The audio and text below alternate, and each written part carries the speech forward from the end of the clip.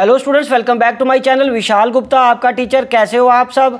Students इस video में मैं आपको चैप्टर तेरह का जो market equilibrium under perfect competition है, उसको कंटिन्यू कराने जा रहा हूँ क्लास इलेवन माइक्रो इकोनॉमिक्स को।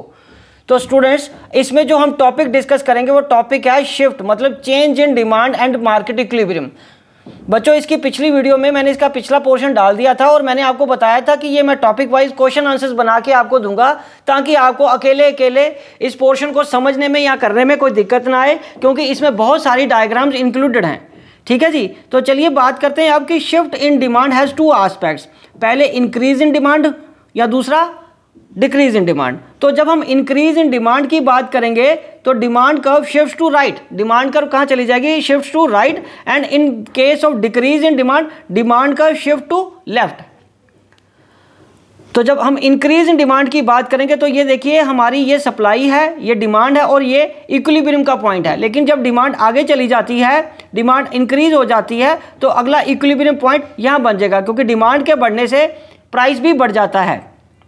ठीक है जी? तो यहाँ इसको मैं कंस्ट्रक्शन को मैं बताता हूँ कि मैंने कैसे डायग्राम बनाई है। How new equilibrium struck when demand curve shift to the right means demand is greater than supply then price will rise तब प्राइस बढ़ जाएगा consequent upon the rise in price और उसके रिज़ल्ट से क्या होगा? Quantity demanded tend to decline price के बढ़ने से क्या होगा बच्चों? क्वांटिटी जो बड़ी हुई है वो कम हो जाएगी and the quantity supplied tends to rise और क्वांटिटी सप्लाइड क्या होगा? बढ़ जाएगी। This process will continue till such a price is reach where D is equal to S ठीक है स्टूडेंट्स चलिए, अब हम आगे बात करते हैं डिक्रीज इन डिमांड की। बच्चों डिक्रीज इन डिमांड में इधर देखिए, हमारे पास इक्विलिब्रियम पहले यहाँ है, ये डिमांड है ओरिजिनल डिमांड ये सप्लाई और इस पर्टिकुलर प्राइस पे हमारा ये इक्विलिब्रियम का पॉइंट है।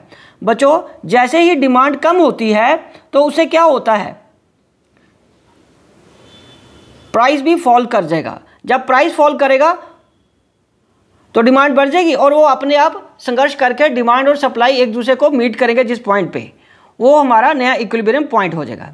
तो चलो अब इसकी कंस्ट्रक्शन को पढ़ते हैं स्टूडेंट्स तो यहाँ पहले ये आ रहा है how is new equilibrium struck when demand curve shift to the left students when demand curve shift to the left it shows decrease in demand and second consequently price will fall number three quantity demanded tends to decrease and quantity supply tends to decrease okay और ये process चलता रहेगा till such a price is reach where demand is equal to S occur at E one ठीक है जी? बच्चों, जब आपकी demand lower हो जाएगी तो आपका प्राइस भी क्या हो जाएगा बच्चों? प्राइस क्या हो जाएगा? लोअर हो जाएगा।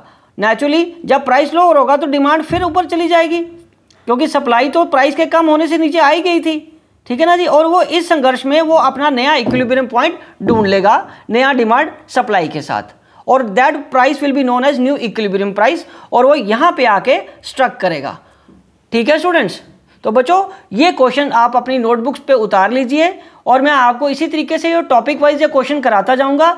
अब अगले टॉपिक के लिए मेरे चैनल को सब्सक्राइब करके वीडियोस देखना ना भूलें। Wishing you good luck